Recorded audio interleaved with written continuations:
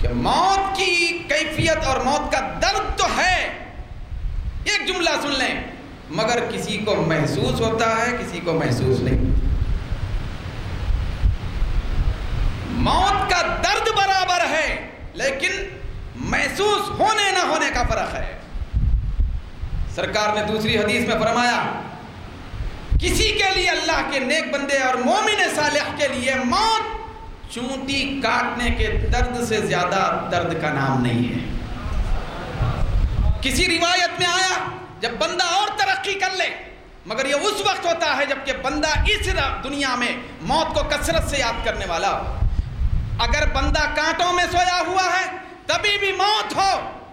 بندہ اگر اچھے گدے پہ سویا ہوا ہے، تبھی بھی تصور موت ہو۔ بندہ سادہ کھانا کھا رہا ہے، موت کا تصور ہو۔ بندہ بریانی ہضم کر رہا ہے موت کا تصور۔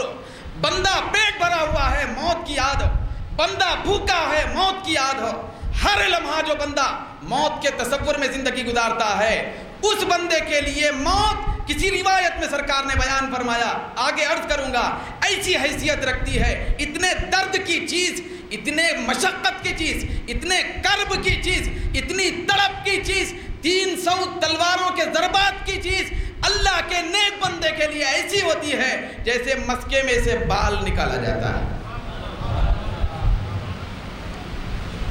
درد کم نہیں ہوتا کسی کے لیے۔ یاد رکھیں، یہ طے ہے۔ موت کا درد سب کے لیے ہے، احساس کا فرق ہے۔ بھئی احساس کا فرق ہے۔ موت کو کون مسکے میں سے بال نکالنے کی طرح بنانا چاہتے ہیں یا چونٹی کاٹنے کی طرح بنانا چاہتے ہیں؟ تین سو نے تین ہزار تلواریں مارے جانے کے قابل بنانا چاہتے ہیں، یہ بندے کی طبیعت پہ ہے۔ اس کا فیصلہ اس دنیا میں کرنا ہے۔ اس دنیا میں کرنا ہے۔ سرکار دو عالم نے اسی لیے فرمایا، سب سے زیادہ مومنوں میں عقل مند وہ ہے جو موت کو کثرت سے یاد کرتا ہے اور موت آنے سے پہلے اس کی تیاری میں لگے رہتا ہے۔